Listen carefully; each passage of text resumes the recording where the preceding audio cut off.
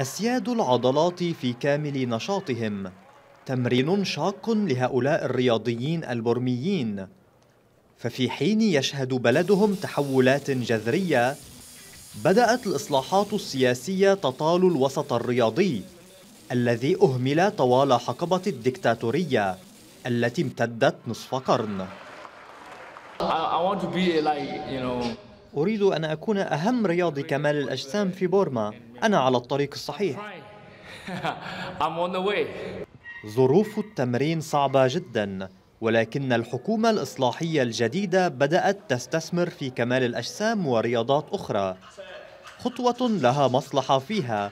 إذ تستضيف البلاد في كانون الأول ديسمبر دورة ألعاب جنوب شرق آسيا وتأمل الفوز بميداليات خلالها. وعلى رغم الثقافة المحافظة تحظى بورما بسجل مشرف في هذه الرياضة الاستعراضية. أهم شيء هو التناسق والمقاسات. بعد هذه العضلة الطويلة هناك عضلة قصيرة. وقد فاز هذا الرياضي بميدالية برونزية بنتيجة التصفيات إلا أنها غير كافية للتأهل إلى دورة ألعاب جنوب شرق آسيا لكنه يبقى سعيدا لمساهمته في النهوض برياضته. الكثير من الشبان يمارسون كمال الأجسام لأنهم يبدون بمظهر أجمل وبصحة جيدة وأقوى.